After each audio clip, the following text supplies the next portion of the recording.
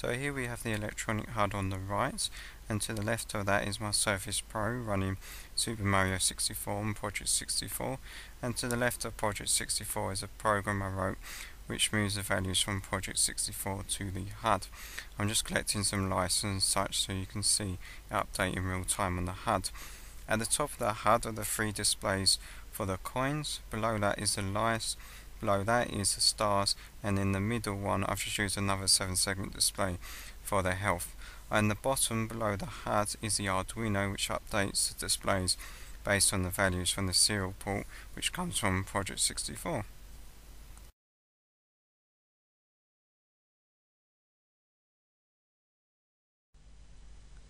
Okay, so this is the uh, circuit. It's not too complicated, it's just a lot of uh, wiring. Uh, so basically we have our 5451 LED driver, we have two of them driving two sets of displays. So they're basically all but one of them are 7 segment displays. This one over here, well you can create it how you want, just 8 uh, groups of LEDs, 8 lots of LEDs. Uh, in prototype form I just used another 7 segment display because it was easier. But yeah, we just have common data signal goes off to one the I.O. of the Arduino and then you have separate clock signals so we can talk to the two different 5451 chips. Now, this is not multiplexed and that's why there's a lot of connections, but doing multiplexing is in some ways more complicated because of the timing. That's why I moved to using the 5451 chips. So there is a lot of wiring involved, but the 5451 chips handle the brightness of the displays. They handle the current limiting, which is controlled by these BRI inputs. So the good thing is you don't need any limiting resistors for the uh, 7 segment display, so that's a huge uh, bonus. Now, if you buy multi-digit 7-segment displays, they tend to be multiplex, so you will need to buy individual 7-segment displays and then group them together. Uh, the only thing else to add really is you should be able to power this all off a um, all off the USB port of your Arduino if you want to. Well, you need to connect it to the PC anyway for the serial port, so it should all run off the um, USB port, no problem. Um, unless you're using the hub, you might have problems. Uh, other than that, just some decoupling capacitors and so on, and it's fairly straightforward, really. Uh, nothing more really to add. Just make sure you get all the connections correct, otherwise you're going to have a hard time. Test each group of, uh, you know, each seven-segment display separately, just to make sure it's all working. You, especially with these um, ones here, where I've only used B and C segments uh, to cut down the number outputs since they only display a 1 in that digit part. Uh, that's it.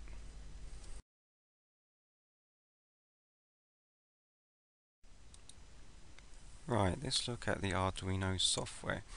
So first of all we define a number of signals. So we have two different clocks for the two 5451 LED drivers and then we have a common data signal. Next up we have a table which defines which segments to turn on or off to light the numbers 0 to 9. Then we have our HUD variables, power, coins, lice and stars. In the setup part we define our I.O. as outputs, we set the default values, open the serial port and then display the current HUD values. In the loop part we continuously look for values from the serial port. If there's enough bytes we can then update the HUD variables and then update the display. So in the update HUD function we update the two sets of displays. So we send a leading value, uh, starting value I mean, uh, which will tell the 5451 that we're going to send it some values. We then send it a bar graph set of values which is for the power meter and then output num3 is used for three digit uh, numerical values and then we just send it some blank bits because we haven't used all the outputs.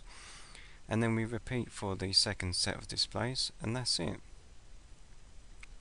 This is the clock function. So we have one of two different clocks, one clock for one of the 5451s and the second clock for the other chip. So output bar graph simply sets or sends out a number of logical ones based on the current power meter value and don't worry about the blank digit but that's basically for removing the leading zeros in the three digit displays. So output number will output a single digit for a 7 segment display. So it's just a matter of going through checking the input value against its uh, binary value and then sen sending out zeros or 1 as needed. Then all that output num3 does is call output num but it uses a bit of math to work out the ones, tens and hundreds and that's basically it.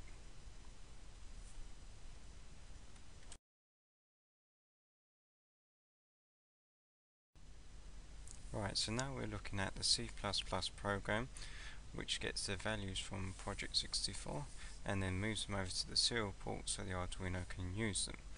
We have a simple form with a uh, region select supporting both NTSC and PAL versions of the game for Super Mario 64. We have a serial port component and a main timer component which continuously checks for the values. Then we have a standard header file and a C++ file as well. So let's look at the C++ file. Uh, we have a number of variables. I know it's not very good to put them up here, but um, Visual Studio complains a lot if you try and put them in the header file. So in prototype form, I'm just keeping there for the moment. Uh, we have the offset values. So these are the, the code values basically uh, for the PAL and NTSC version. The game, health coin, lives, and stars. And then similar to the Arduino, we have health coins, lives, and stars uh, variables. Right, so in this function we try to get the values from project 64. We check the region select so we can get the right offsets. And then it's just a matter of trying to get the values actually from project 64. So we do that using read process memory which we do for each set of HUD values. And if that's successful and the values have changed since last time, we can then put them into the serial port. Now it's important to only send values to the serial port if they have changed since last time. Otherwise you're going to be continuously sending loads of values down the serial port and that can cause exceptions and all sorts of uh, problems. And so yeah, we just repeat that continuously. Uh, here we have a setup function. So what we have to do is we have to try and find the Project 64 window which has its exact title then if we can find that we get the process ID and from that we can open up the process get access to project 64 and then we can read the base pointer. Now basically on modern computers you can't guarantee on a PC that variables are always going to be at the same address. However I found project 64 does store um, the base pointer, so that's a pointer to the emulated N64's RAM at a set address. So unfortunately we can look that up and then add our offsets to that. And if that's fine that's it. We can enable the timer and update our label. So in the header file we just have some simple uh, that's for closure. So we just close the handle to project 64 we close up the serial port. Otherwise in the timer value we continuously uh, get the values from project 64 and send them to the serial port